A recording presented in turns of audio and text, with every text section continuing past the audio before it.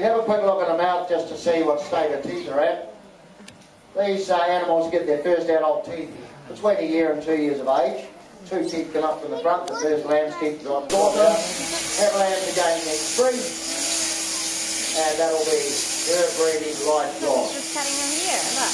Righto, we get the spelling wheel off for a start. Let's just see the dirty stuff underneath. We see visually how much hair and the number Come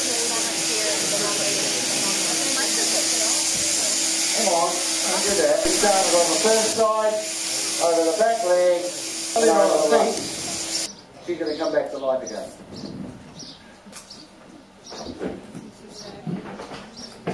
Because up here, suddenly she has some way of trying to escape from me. When she's on her backside, she can't escape. Her feet aren't near the ground. When on her feet again, you see she comes alert, her ears come forward. She's looking for a way to get away and is quite happy now.